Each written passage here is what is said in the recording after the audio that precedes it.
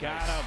It took six seasons in Major League Baseball with the San Francisco Giants before Kevin Correia put on his hometown jersey and took the mound at Petco Park as a Padre. He gone. I had pitched there in the past, obviously, but it wasn't for the Padres. And growing up rooting for a team, you know, it's kind of hard to pitch against them in a division and you can't really root for them. So, you know, to put on the uniform and actually try to help the team win, it, it's something I've been looking forward to do since, you know, I, I knew I wanted to play baseball. Out on strikes. Began this season as the number four starter. But by mid June, four of the five starting pitchers from the Padres' opening roster were on the disabled list, and Correia rose to the top.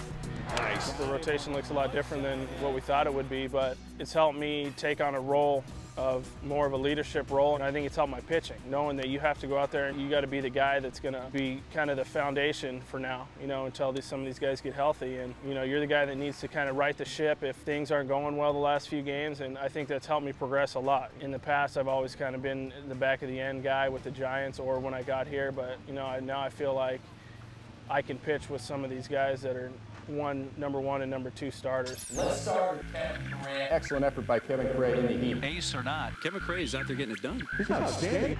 Just because he's a confident ace now doesn't mean his demeanor has changed one bit from his SoCal upbringing. Just ask his agent, Chris Springfield. He's a very free-flowing guy. He can get rattled sometimes, and you'll see it on the field, but I, I love it. I love when he shows emotion and uh, but he tries to keep that to a minimum. He's, he's a very even-keeled. It's, it's been great for, uh, for me growing up with just seeing how he handles things. He's able to he's able to handle pressure like very few can. Springfield knows Correia not only as his agent, the two have known each other since they were kids. We played baseball together. His dad was our coach when we were, you know, 13 years old. I remember the first game I ever met him. It was at our first game. He, he never went to practice when we were little. He uh, struck out three or four times, and he wanted to quit.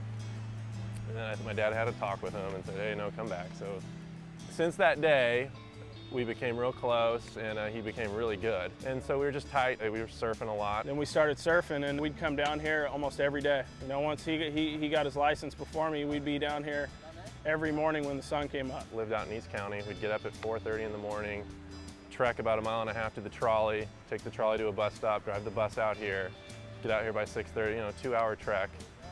And we learned a lot about each other just growing up. Once we got to college, he went off and, you know, did his thing, got a law degree, and he's one of the smartest people I knew. And, you know, I was kind of at a point with um, baseball where if you're going to have an agent, why not have it be someone you trust, one of your best friends, and one of the smartest people you know? So the timing worked out really well. Correia may be Springfield's first major league client, but he learned under one of the best, top baseball agent Barry Axelrod.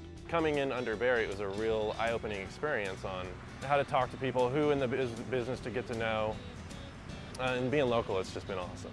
And then, you know, having Kevin involved, he's mentored me through this process. He's helped us on some things, and he's continuing to help, to help us. So it's been a great relationship.